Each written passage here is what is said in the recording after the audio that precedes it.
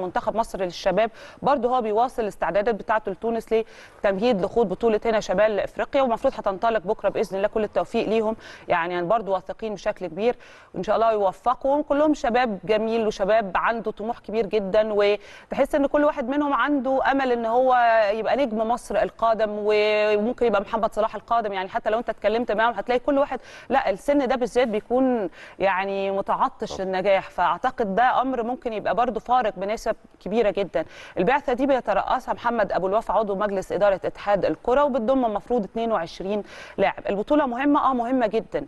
واتكلمنا كتير جدا في أهمية هذا المنتخب لأن هو تاني هنرجع نقول من... نواه للمنتخب الأولمبي الأول. فالبيز بتاعك أو الأساس بتاعك لما بتأسسه صح بتبني صح بعد كده. فبالتوفيق ليهم محتاجين جدا يكون في تركيز وتطوير في الأداء.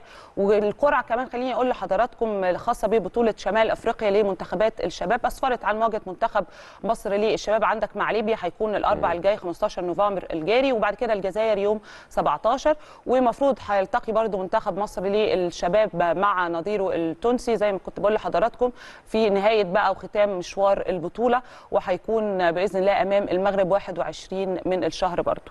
بالتوفيق ليهم بإذن الله و يعني لسه طبعا ما نقدرش نحكم لسه منتخب لسه جديد تماما. الأسماء كلها لسه ما جربناش ما شفناش. لكن خلينا نقول واثقين بإذن الله إن هم يتم تأسيسهم بشكل جيد جدا. أنا بالنسبة لي البطولة مش فارقة خالص معايا كريم الفارق معايا إن أنت تحس عندك لعيبة يعني تقدر يبقى ليها مستقبل أو تقدر تلمس فيهم المستقبل للي جاي بعد كده. كنت لسه بتقولي ف... من شوية إن كلهم عندهم شغف لتحقيق ذاتهم وكلهم كل واحد فيهم على حدة نفسه يبقى محمد صلاح جديد زي الفل. بس يورونا ده بقى. يعني نشوف أمارة الفرصة جات لهم فعلا. الفرصة بتجيلك لازم فعلا تستغلها هي دي النقطة.